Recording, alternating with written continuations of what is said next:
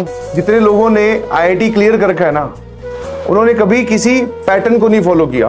सुबह छह बजे उठूं सवा छह बजे तक पेस्ट कर लूँ। साढ़े छह बजे तक घूम के पंद्रह मिनट वॉक भी ज़रूरी है। साढ़े छह बजे टेबल पे नेट बैठ जाऊँ। इससे कुछ नहीं होता है ठीक है?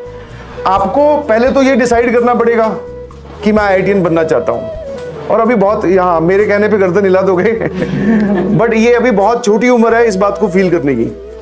क्योंकि वहाँ पर पता है कि आपको अपना मैक्सिमम अटेन करना होता है। और जिसकी कोई लिमिट नहीं है। छह घंटे पढ़ रहे हो तो आठ आठ पढ़ रहे हो तो दस दस पढ़ रहे हो तो बारह। जैसे अभी ये भैया बोल रहे हैं कि मैंने सब कुछ कर लिया लेट से तो ये भी इसकी कोई गारंटी नहीं है कि ये सेलेक्ट हो जाएँगे। कोई गारंटी नहीं है।